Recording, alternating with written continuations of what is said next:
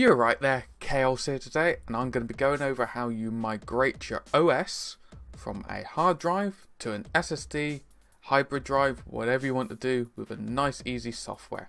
Hang on in, gonna be fun. So, welcome back. We're going to be going over how to migrate your OS to an SSD, hard drive, whatever storage device you'd want. So in this situation, I have got my Kingston 240 gigabyte SSD. I want to migrate my boot drive partition from my standard hard drive with, you know, the system reserve parts and everything to the SSD to see if there's an improvement in performance. So the nice thing is I'm using my USB 3 adapter to SATA connector, so it isn't actually plugged into the PC yet. Make sure whatever you're moving it to has enough unallocated space for this movement. So you want to click Migrate OS, so it's nice and easy, just click Next. Here's the unallocated space. I go next. I'm not going to fiddle around with this size yet do that once it's all up and running and everything's fine. So you want to click next. So it says here, when the migration's finished, we suggest you not to start the computer from the SSD or hard drive disk directly. In order to make the OS bootable from the suggested disk, please shut down the computer after migration is completed, then disconnect the source one. So long story short, disconnect obviously your previous disc and put in the new one in the same spot.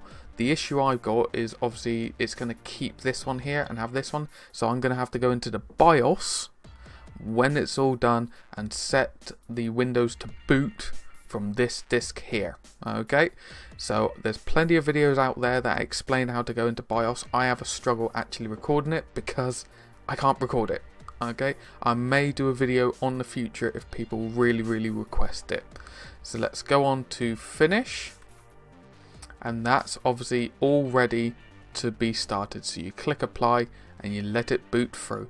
So I'll catch up with you in a bit once this is all done but a little proviso I'm using an adapter to do this this is going to be slower than using a SATA 3 connection okay so just forewarning you See you in a bit.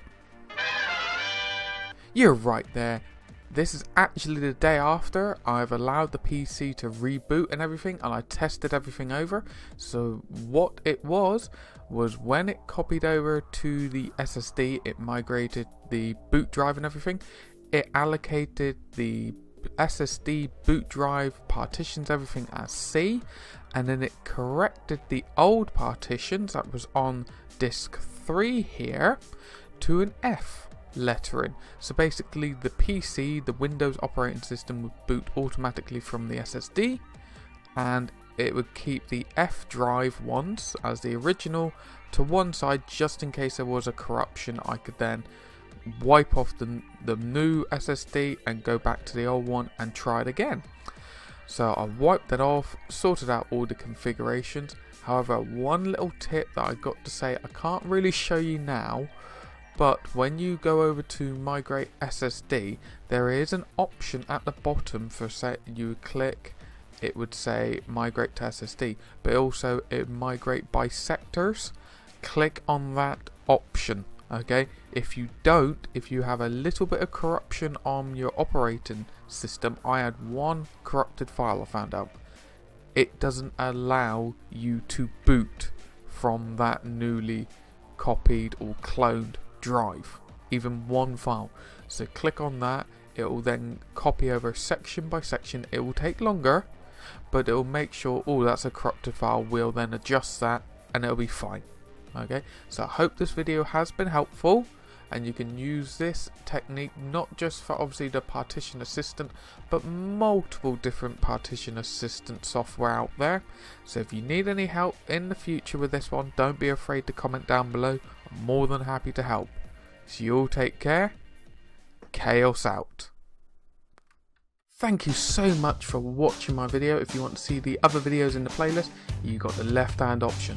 If you want to see the content that I have on my channel, you then have that middle option there.